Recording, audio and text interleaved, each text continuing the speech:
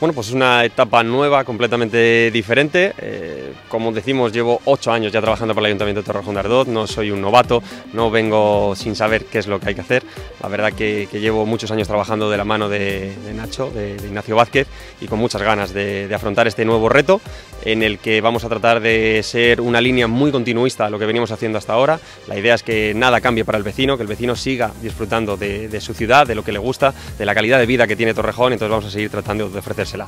bueno, entendemos que es parte del, juego político, no,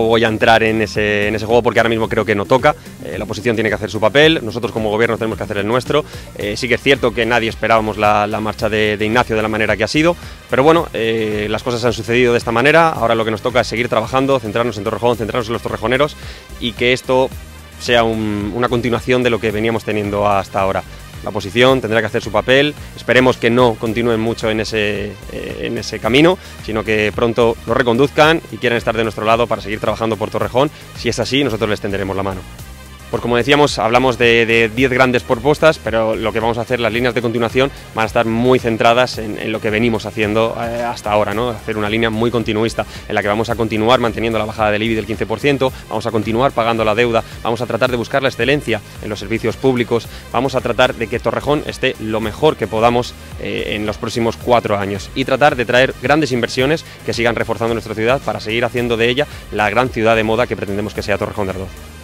Pues como decíamos, eh, a Torrejón van a llegar grandes proyectos, grandes inversiones que eh, van a estar centradas en el ámbito deportivo, universitario y sanitario. Todavía no podemos desvelar en qué van a consistir como tal, pero como decimos, eh, son tres grandes inversiones que van a ayudar a que la formación y el empleo en Torrejón siga cada vez de una forma eh, mejor y más fácil para todos sus vecinos, porque estamos hablando que son proyectos muy tecnológicos que van a seguir andando en que Torrejón sea eh, una de las ciudades más punteras e innovadoras de todo Madrid y parte de España en esos tres ámbitos que, como repito, eran el deportivo, universitario y el sanitario. Como nuevo alcalde, creo que una medida muy importante es contar con el bagaje de antiguos alcaldes que ha tenido nuestra ciudad. ¿no? Es decir, no puede uno llegar y sin conocer la historia eh, tratar de seguir creando historia. Entonces, por eso nos parece muy importante seguir trabajando con aquellos referentes de, mi acción de gobierno, como son los exalcaldes populares, Pedro Rollán e Ignacio Vázquez, pero también quiero sumar a antiguos alcaldes socialistas como José Pina y aquellos otros que quieran sumarse para crear ese consejo asesor de la ciudad que permita tomar unas decisiones eh, más acertadas en los próximos años de gobierno. Entiendo que obviamente sí, ¿no? Uno no puede desprenderse de aquello que durante tantos años ha, sido parte de su vida y ha trabajado en ello. Obviamente es un objetivo principal el empleo, el empleo en nuestra ciudad, la formación eh, para todos nuestros vecinos. Eso es algo que no vamos a, dejar de lado en ningún momento, sino que vamos a seguir insistiendo eh, y trabajando para tratar de que consigamos en Torrejón el pleno empleo